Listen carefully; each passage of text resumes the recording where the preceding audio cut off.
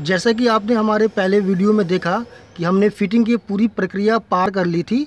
अब इस तरह सारे कपलर और वायर को ऐड करने के बाद हमारा डिवाइस इस तरह इंडिकेट करेगा। इट मीन्स कि हमारे डिवाइस अब लग चुकी है।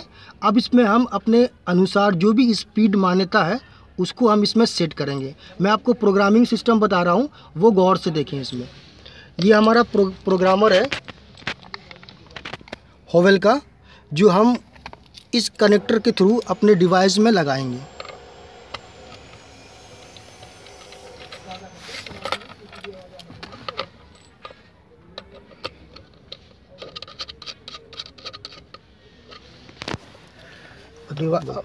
अब डिवाइस को हम कट से बाहर रिलीव करने के लिए बटन को थ्री सेकंड पुश करके रखेंगे फिर ऑन किया रेड कलर इंडिकेशन फिर गाड़ी की जो भी स्पीड पे हमें सेट करना है, गाड़ी को उसी स्पीड पे ले जा करके फिर पुश करेंगे और ये कट लग जाएगा। ये कट लग चुका है।